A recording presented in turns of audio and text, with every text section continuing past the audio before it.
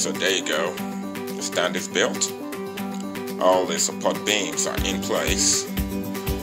Got one two three four eight over here four up here four down here and this one's as well. And in total cost me about 120 bucks for wood and tools and everything and a whole bunch of nails as well. And I got my little ship in there. I just have to fill it up with um, water and fish and everything else and I should be good to go.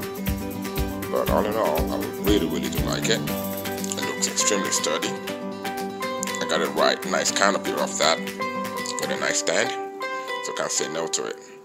Thank you for watching